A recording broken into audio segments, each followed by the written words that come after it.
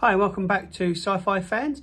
I'm your host Wayne and in this video I'm going to run through my top 5 trivia points from the 1970s classic Battlestar Galactica.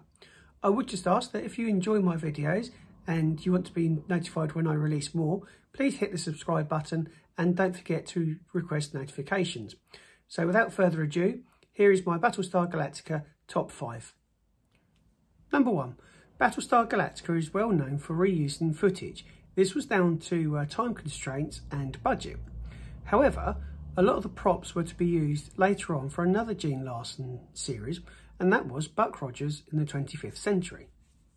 Number three, the um, David Hasselhoff classic Knight Rider incorporates two different sound effects from Battlestar Galactica. KITT, Michael Knight's car, has a single red eye that goes from side to side, and the uh, sound effect for that is exactly the same as the one used for the Cylons. Incidentally, whenever KITT or Michael Knight uses turbo boost, that is actually the sound of the thrusters from the Viper from Battlestar Galactica. Number four, pets.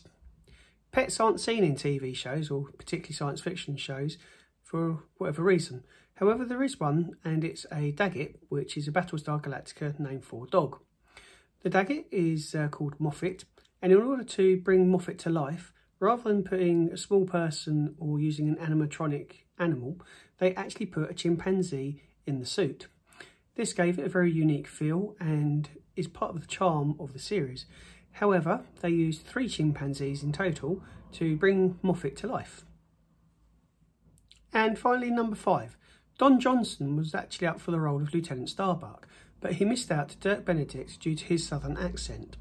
And that sums it up. Five little points of trivia from one of the favourite, my favourite TV shows, Battlestar Galactica. If you've enjoyed this video, please comment, like and follow. And you can also follow me on TikTok, where I produce daily videos doing similar sort of things to what I do here on YouTube, as well as producing a fortnightly podcast. Thank you very much, and I'll see you next time. One of the main attractions to Battlestar Galactica is the enemy and the alien race known as the Cylons. They're very intimidating and they're only seen in threes inside their ships.